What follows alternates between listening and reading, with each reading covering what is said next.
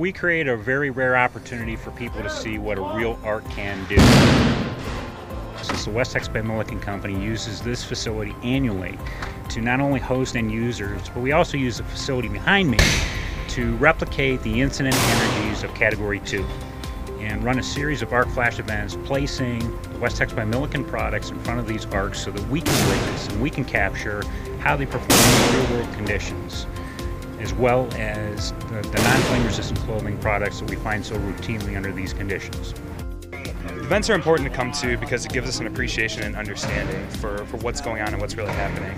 It does not compare to anything. You can watch YouTube videos, you can go online and you can research it and hear stories, but until you see it in person, there's, there's nothing to compare. I think it's important to come to these events to raise awareness of how dangerous electricity can actually be and how great FR clothing and how protective it is. Well, I think it's important uh, to reach out to everybody who's not aware of arc flash and the dangers.